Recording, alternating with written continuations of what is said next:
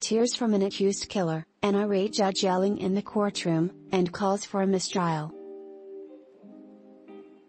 The drama in one of the final days of the Kyle Rittenhouse trial may bring more than just unforgettable scenes, it could also play a role in whether the 18-year-old is convicted of murder. Jurors saw courtroom moments seldom seen Wednesday in the trial over shootings Rittenhouse committed last year during protests in Kenosha, Wisconsin, after a black man was wounded by a white Kenosha police officer. Rittenhouse, in a high-stakes gamble, took the stand early in his defense. Sobbing at times, he testified he fatally shot two men in self-defense. Rittenhouse faces counts of intentional homicide, reckless and attempted homicide and could get life in prison if convicted.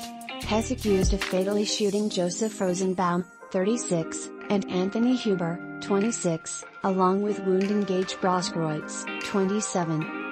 Things took a turn as prosecutors questioned Rittenhouse's actions that night, from traveling to the city during at times violent protests to being armed with an AR-15 and his plans to protect property during the demonstrations. Circuit Judge Bruce Schroeder stopped prosecutors several times, ordered the jury out of the courtroom and loudly chastised prosecutor Thomas Binger. The questions posed to Rittenhouse eventually led his attorneys to demand a mistrial with prejudice, a typically rare action that, if granted, would prevent Rittenhouse from being prosecuted again.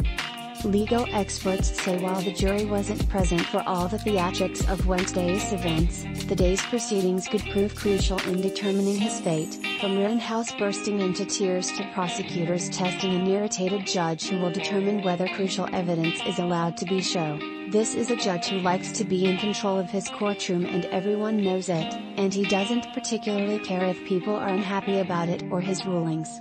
A key line of questioning that made Schroeder livid centered on a video taken 15 days before the fatal shootings.